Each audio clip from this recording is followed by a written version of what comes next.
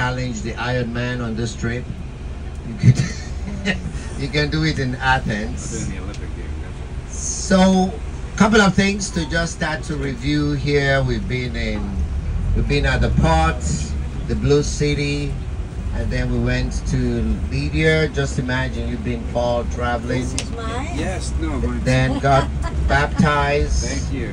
and preached the gospel, make his declaration, demonstration with the people over there, and now we're gonna have this journey. So, someone just asked me back there, how do I get ready for Berea? Acts chapter 17 is what we're experiencing these two days. From verse 10 to 15, you will read those five verses. And Acts chapter 17, verse uh, 10 to 15. So again, as we see Paul on this journey, he was just compelled about the gospel. And you will find that as we make this journey, I hope is burning in our hearts.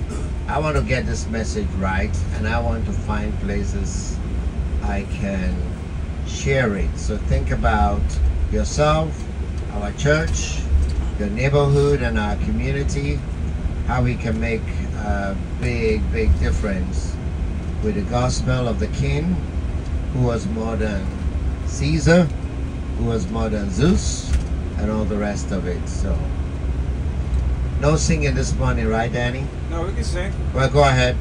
All right. Before pray.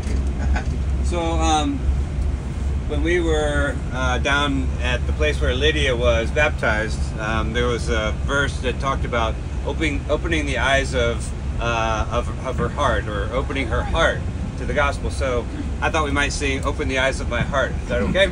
Yeah. All right. Open the eyes of my heart, Lord. Open the eyes of my heart. I want to see you. I want to see you. Open the eyes.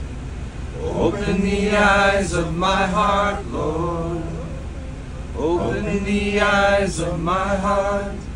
I want to see you.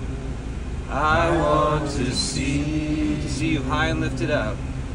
To see you high and lifted up, shining in the light of your glory.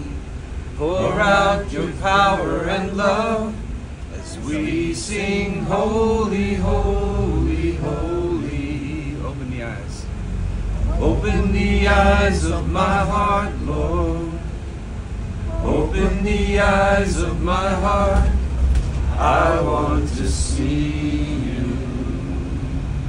I want to see you. To see you high and lifted up. To see you high and lifted up. Shining in the light of your glory. Pour out your power and love as we sing holy, holy, holy, holy, holy, holy. Holy, holy, holy. Holy, holy, holy. Holy, holy, holy. I want to Amen. So as we ask the Lord to open the eyes of our hearts, the Holy God, He als- also open our physical eyes to see the sights in the archaeology and the places. I hope that like today in our long ride, as we just sang He's Holy, we can be thinking about each character of God, you know. He's the God who is all-knowing, so he, he knows everything about Greece, about Florida, United States. He knows everything about me and you. He knows everything about our church. So we just ask him to give us fresh insights. So Father, as we're on the road today, we see the places that you have made in your creation for which we worship you.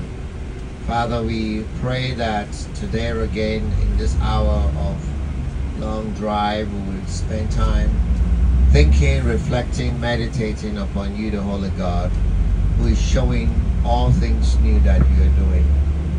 Father, we want to pray for our loved ones back in the United States, uh, Florida in particular.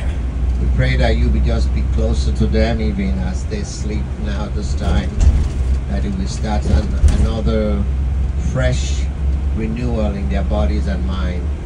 We pray for our congregation people. We pray that you meet their needs.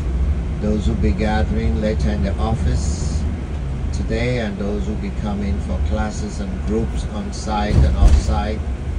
We pray for those who are considering this weekend to make a demonstration of their faith by baptism. I pray, Lord, that each one of them will renew their commitment. They know you. We pray for the teaching and preaching of the word this weekend.